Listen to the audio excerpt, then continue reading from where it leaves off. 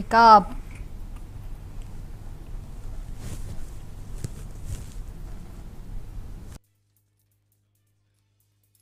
తిరుపతిలో ఇప్పటికే నాలుగు కుటుంబాలకే సంబంధించి ప్రధాన అర్చక హోదాలు ఇవ్వాలని చెప్పి టీటీడీ నిర్ణయించింది. ఇక గొల్లపల్లి నుంచి గోపీనాథ్ అలాగే తిరుపతమ్మ కుటుంబం నుంచి కూడాను అలాగే పైడిపల్లి నుంచి రాజేష్ని పెద్దింటి నుంచి రవిచంద్ర అని అర్చకులుగా నియమిస్తూ కైంకర్యపర అర్చకులకి టీటీడీ ఛాన్స్ ఇవ్వకుండా ఉంది. ఇక దీనిపై పూర్తి సమాచారం అందించడానికి మా ప్రతినిధి గోపీనాథ్ అందుబాటులో ఉన్నారు. గోపీనాథ్.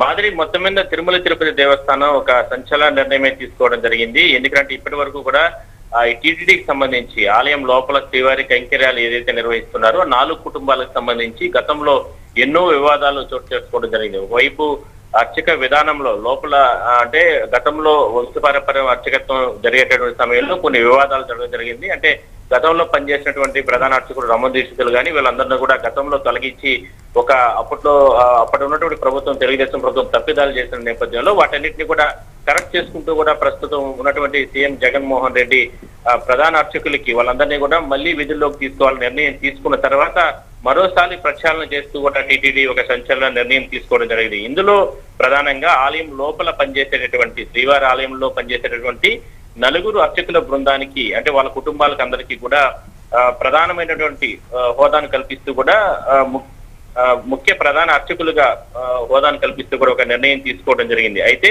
ఈ ముఖ్య ప్రధాన అర్చకులుగా కైంకర్య పరంగా ఉన్నటువంటి వీళ్ళందరూ కూడా వంశపార పరంగా కూడా కొనసాగుతూ వస్తారు. ఇందులో ఆలయం లోపల మొత్తం నాలుగు కుటుంబాలు ప్రస్తుతానికి కైంకర్యాలు నిర్వహిస్తుంటారు కొన్ని సంవత్సరాల నుంచి. ఇందులో గొల్లపల్లి కుటుంబానికి సంబంధించి గోపీనాథ్ దీక్షితులకి అవకాశం కల్పించడం జరిగింది. అదే విధంగా తిరుపతమ్మ ఆ, వాళ్ళ కుటుంబానికి అంటే వంశానికి సంబంధించి నారాయణ దీక్షితులకి అవకాశం కల్పించడం జరిగింది. అదే స్థాయిలో పైడిపల్లి వంశానికి సంబంధించి రాజేష్ దీక్షితులకి అవకాశం కల్పించడం జరిగింది. ఇక నాలుగో కుటుంబాల వంశానికి సంబంధించి పెద్దింటి వంశానికి సంబంధించి రవిచంద్ర దీక్షితుల్ని కూడా నియమిస్తూ కూడా టిటిడి నిర్ణయం తీసుకొని ఉత్తర్వులు కూడా ఇచ్చేయడం జరిగింది. అయితే వీళ్ళందరూ కూడా రేపటి నుంచి విధుల్లోకి హాజరయ్యి వాళ్ళ వంశపారపర్యంగా వస్తున్నటువంటి అర్చక విధానాలన్నింటినీ కూడా కొనసాగిస్తూ వచ్చే అవకాశం అయితే కనబడుతుంది Madhavi okay right Gopinath thank you